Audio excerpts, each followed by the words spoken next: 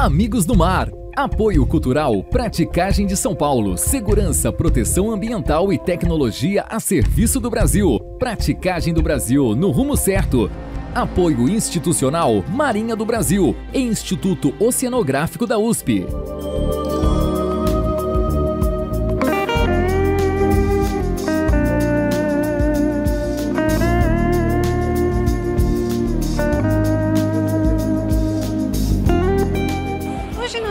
Estamos na posse do Conapra, aqui no Clube Naval, e eu gostaria de saber o que você pensa a respeito do Conapra e a ação dos práticos.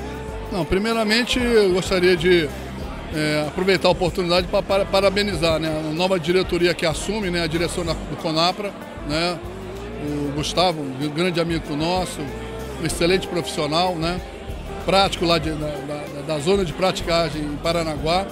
A gente é, aproveita a oportunidade para desejar pleno êxito né, nessa nova gestão.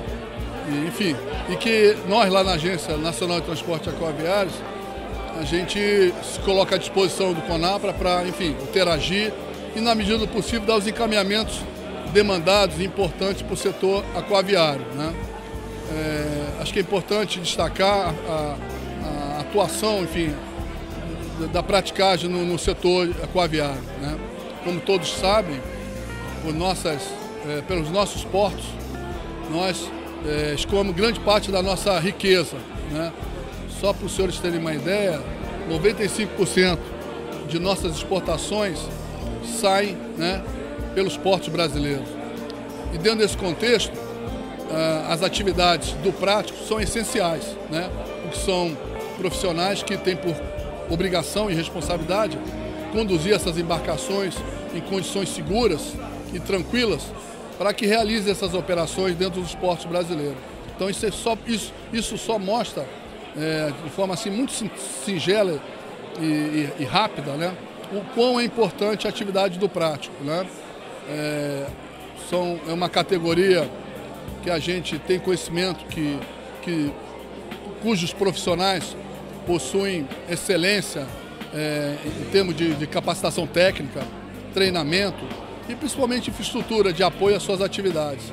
E dentro desse contexto, a gente realmente é, aproveita a data de hoje para mais uma vez parabenizar a categoria, né?